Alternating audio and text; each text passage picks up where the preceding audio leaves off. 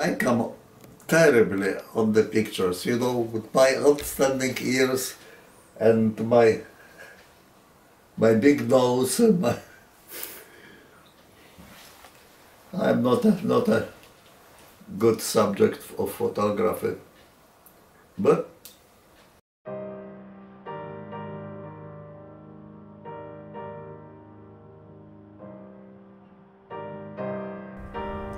This is Fred Brill. Born in the Free State of Danzig during the early 1920s, his father worked in transportation, overseeing imports and exports along shipping lines over the Baltic Sea. By the time Fred was in his teens, the Nazi regime had begun to march over Poland, forcing his family to flee to Warsaw, then Italy, and eventually through Yugoslavia, Greece, and Turkey to the Near East, where Fred and his brother Richard joined the Free Polish Army. That was 1942. Flash forward to 2015. Mr. Brill is now 91 years old. The war changed him physically and mentally. He lost all hearing in his left ear and all sense of smell, and also sustained numerous pieces of shrapnel in his hip which cause chronic pain to this day. Though some of his views on life have become solemn, he still remains a hopeful man. He faced some of the most destructive years of human history and still came out on the other side.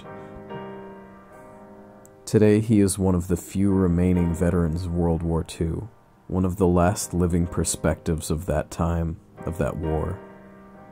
I spoke with Mr. Brill not just for his perspective on the war as a soldier, but his perspective on life and as a human being.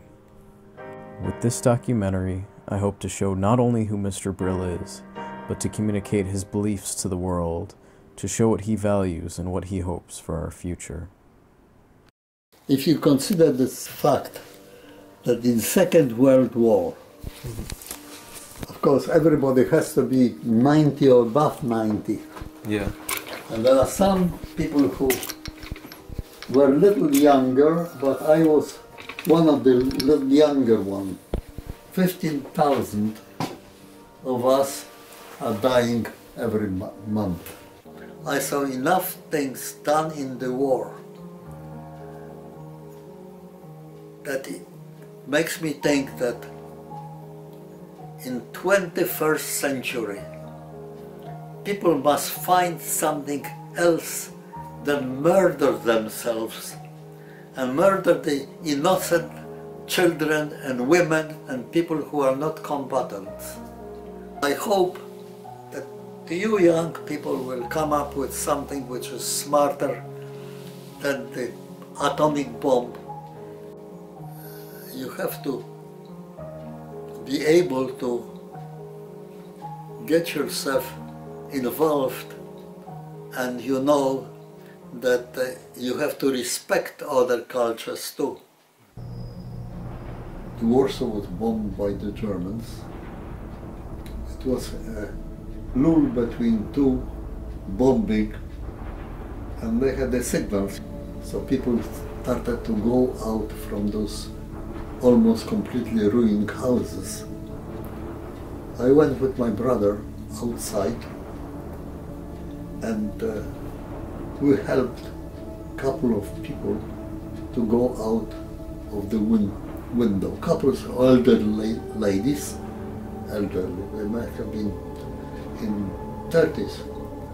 But for us, we were old because we were youngster. My brother was was 17, I was 16.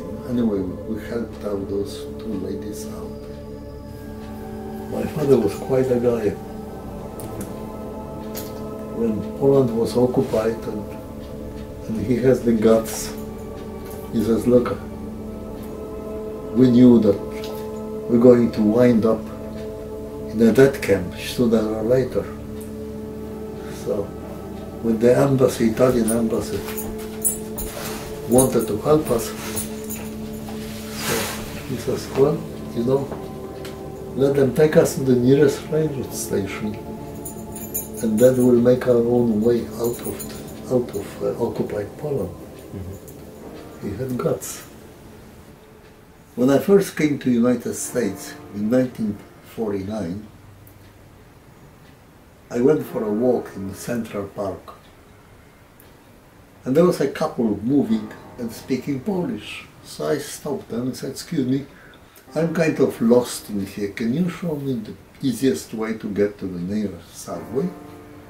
So of course they told me. But the lady told me, you know, I had a son who was also in the Polish army and he was also in Italy and uh, his name was Coral and my wife's maiden name. And they invited me to her, their house. I went over there, I met the daughter that they had.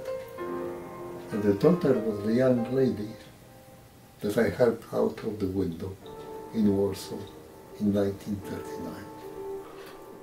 I always say to people, I don't buy green bananas, but this is a saying that a friend of mine coined. You know, I can go tomorrow.